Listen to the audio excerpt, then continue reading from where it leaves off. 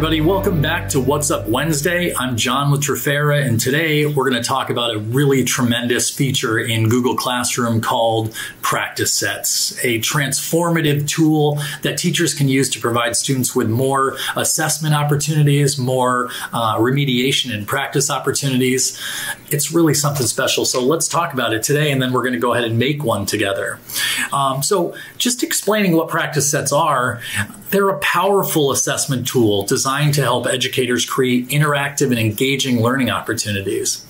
They work to enhance student learning and provide interactive practice opportunities, and teachers can create their own questions from scratch or upload existing PDFs to transform their own curriculum or existing curriculum into interactive and powerful assignments for students. Practice Sets is set up to give students automated hints and suggest videos uh, to help them get to the right answer. You can receive snapshots of student progress and real time student insights, and you can enable auto grading for any practice set assignment you create. And also, you can use multiple input devices for annotation for your students, like a mouse, stylus, touchpad, or math keyboard. So, now I'd love to get into creating a practice set. So, let's do that. So, here we are in Google Classroom. We're in math class. We're going to go to classwork and let's create an assignment. We're going to give it a title adding fractions practice set. Give it some instructions. Complete by Friday. And we're going to go down here and click practice set. All right. So we're going to create that. And you can see the form format here is very self-explanatory, very simple and easy uh, to follow. You're going to give it a title here.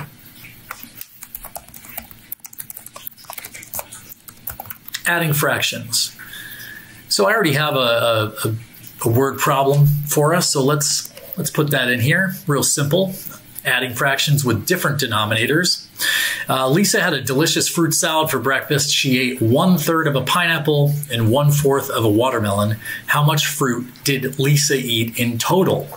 Okay, so that is of the choices for answers, it's not a multi select, it's not a single select.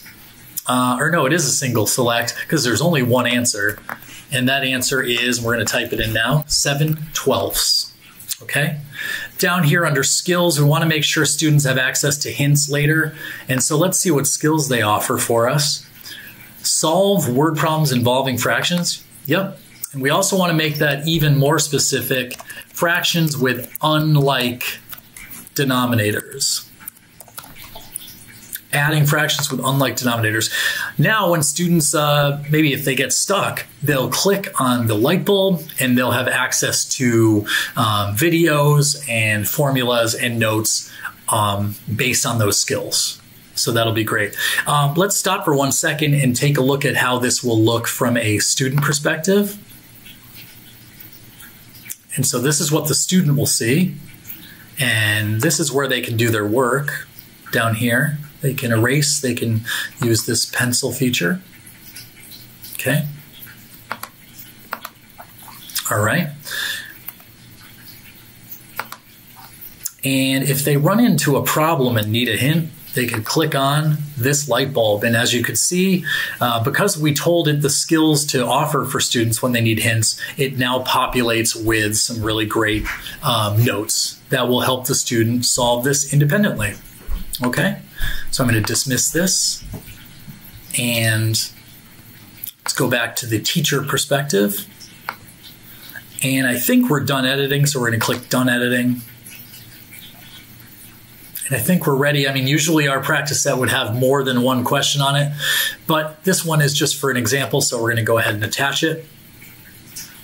So it's going to attach into the assignment, and now we're going to assign it to our students. Very simple. So if we go out into our classroom, we'll see that that assignment is waiting for students and that's how you make a practice set. So in a future video, we'll talk about um, how teachers can monitor um, and get some insights from how students perform on practice sets. But that's how simple it is to make a practice set, and that's what that's why practice sets are so terrific. So thanks for your time. Take care.